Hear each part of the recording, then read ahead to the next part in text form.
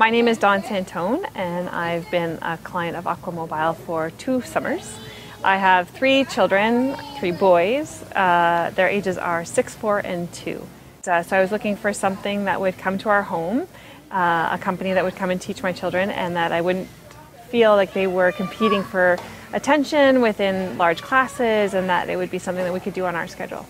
The, the profile descriptions of the instructors were the best. It was key and to hear that there was someone in our area that um, was really local, really convenient, would know where we would be. That would be that was really important to us. So I online registered this year, um, and it was really simple, really easy. Any advice you have to people, you know, if they're maybe struggling with the online registration system? Oh yeah, call the office, 100%.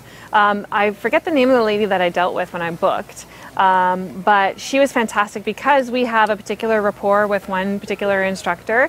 Uh, we wanted to make sure that we, we got that same person, mm-hmm. and she was great at that. Even though even though uh, online um, she's not within our district, um, the office was very accommodating because they knew that um, they lived around our area, so they worked it into their schedule uh, and accommodated our location request very easily. So it was great. What progress have you seen your boys make over the last two years? Uh, I think most notably, it was last summer that we saw the biggest dramatic improvement. Um, my eldest son at the time was five, um, four turning five, and he was afraid to put his face in the water and wouldn't uh, let you dump water on his head, but really loved to be in the pool and would struggle so hard to keep his head above water within two weeks of being with our instructor, um, he was going under, he was jumping in, and he it was complete freedom for him in the water. And um, both my husband and I, we were overjoyed with the, the pleasure that he was now having in the pool.